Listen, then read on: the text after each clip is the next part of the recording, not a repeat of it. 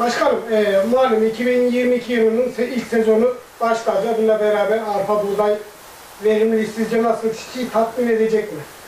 Öncelikle e, tüm çiftçilerimize hayırlı uğurlu, bereketli bir sezon geçirmelerini diliyorum. Kazasız belasız mahsullerini hasat etmelerini temenni ed- ediyorum. Şimdi e, Mesut Bey, sizinle bir sohbetimizde demiştim ki hatırlarsanız çiftçi 1-0, 2-0 mağlup başlıyor. Ne zaman başladık? Ekim'de başlamıştık. Neden? Gübre fiyatları çok yüksekti ve e, yeterince gübre kullanamadı çiftçilerimiz. Hatta bazıları da hiç gübre kullanmadan ekim yaptılar. E, hal böyle böyle olunca tabii ki ister istemez verim düşüklüğü olacak. Bir de e, biliyorsunuz yağışlar zamanında olmadı. Mesela Nisan ayında hiç yağmur yağmadı. 30-40 gün hiç yağmur yağmadı. Yine e, mahsuller iyi dayandı diye düşünüyorum. Ha, çok iyi mi? Değil. Değil. Ama kötünün iyisi bazı bölgelerimiz, bazı bölgelerimiz normal. E, bu şekilde e, devam ediyor ama işte e, yapacak bir şeyimiz yok. Geriye dönemiyoruz. Allah ne verdiyse onu hasat etmek zorundayız. Yapacak e, pek bir şeyimiz yok.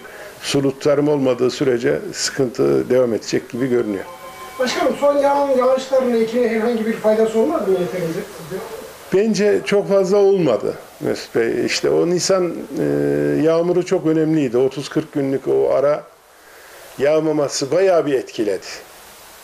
Sonradan evet yağdı, faydalı oldu ama işte yüzde e, 100 olacak yerde yüzde 20'lerde 30'larda kaldı.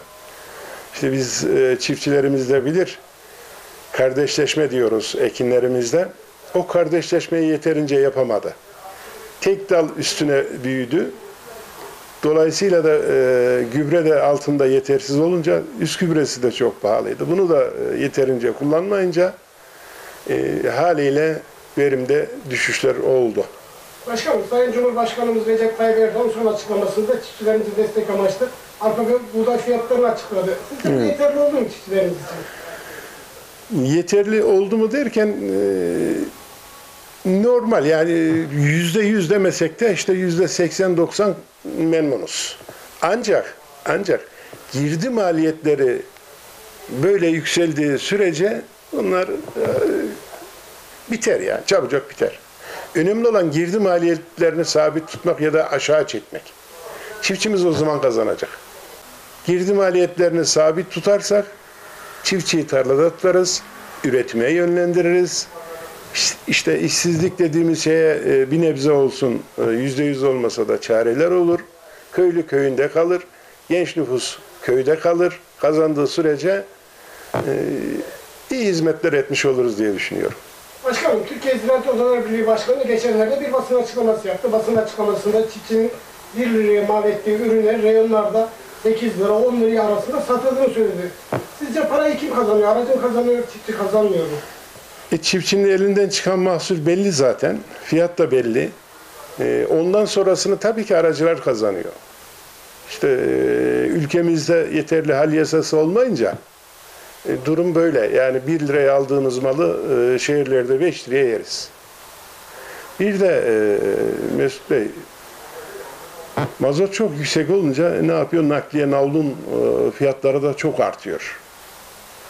İşte Kırşehir'de e, üretileni Kırşehir'de tüketme imkanını sağlayabilsek keşke.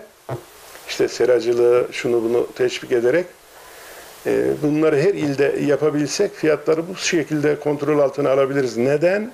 Çünkü navlun yani nakliye azalacak.